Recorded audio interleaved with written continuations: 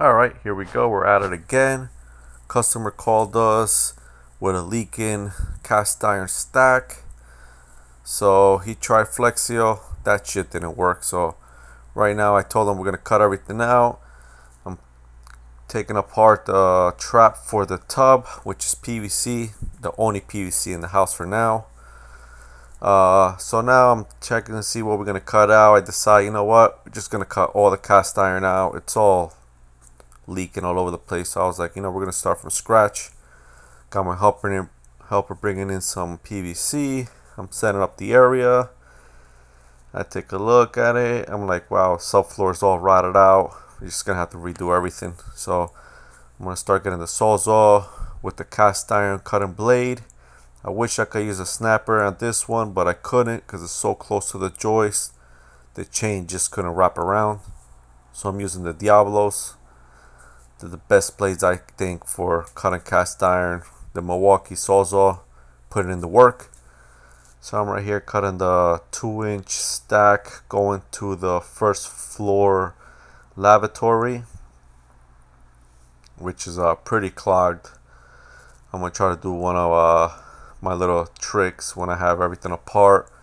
I usually get a one and three quarter hole saw and just clear out the whole inside of the two inch cast iron comes out squeaky clean so I'm right here cut it out. That's all. I'm almost all done. Just checking around since I have no clearance at all. So I'm just working at it. Cast iron is extra heavy. It's pretty stiff. This is the only pipe of all this cast iron that was pretty pretty strong. Everything else is just crumbling. Here you go. You see me with the snapper now. I'm setting it up. It's real tight but I believe I could squeeze it in. I got it in there somehow. Took me a while, but finally got it. Try to save some time here. Sawzall does take a little while to cut cast iron. So I gotta set it up here. Once I got it all set up, I start ratcheting it. And that Ridgid snapper is the best. Here we go. Helper's just walking around trying to set up all the material, PVC stuff. Here we go. I'm ratcheting, ratcheting. Boom snaps. Now I gotta take it out, move it over, take out that uh, that Y that goes up to the lavatory and the vent for the tub. I put it on the horizontal branch. Start ratcheting, call my helper, hey, gotta hold this piece before it falls on me. So he goes, takes it out of the way. Now we're looking around. Look how clogged it is. Super clogged, but We'll take care of that. Hole saw does the miracles inside the two inch drain. Remember that guys, use a one and three quarter hole saw. You clear out the whole inside of a two inch cast iron pipe. Uh, so I'm looking at here the subfloor. Subfloor's all rotted out. I'm gonna have to rebuild it. So I decided to cut out the three inch copper stack which is going to the second floor which is in good shape. We're gonna leave that alone we're just here to uh, change the cast iron. So I cut that uh, section out of the way. I get the snapper getting ready to cut the vent stack going up. My guy's upstairs trying to figure out a way to put a uh, riser clamp in there so the vent doesn't fall on us when we snap it. He figured out a way. It was a closet there. We opened up a little square put a riser clamp up there and we were good to go so here we go, I'm ratcheting it away. And you'll see it's it snaps pretty good.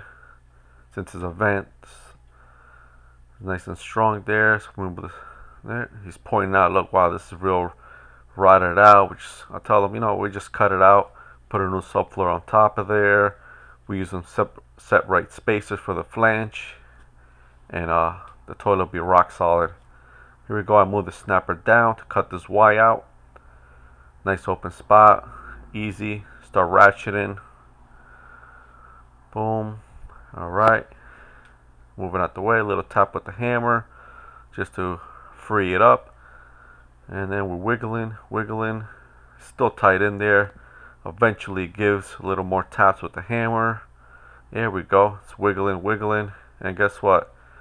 Homeowner decides to come down He's like, hey, what's going on here? You guys are banging away. It sounds like the house is going to fall.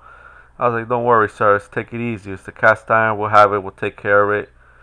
He's pointing. He's like, hey, hey, what's going on with all that pipe? I told him it's all leaking. Don't worry about it. We'll take care of you. All right. He's like, okay, you know what? I trust you. He goes up, leaves us alone for the rest of the day. Here we go. I move the snapper down, ready to snap that, and boom, snaps. We get that out of the way, and that's it for the cast time for today. Hopefully I have a video of the new PVC work. Check you out in the next one. See ya.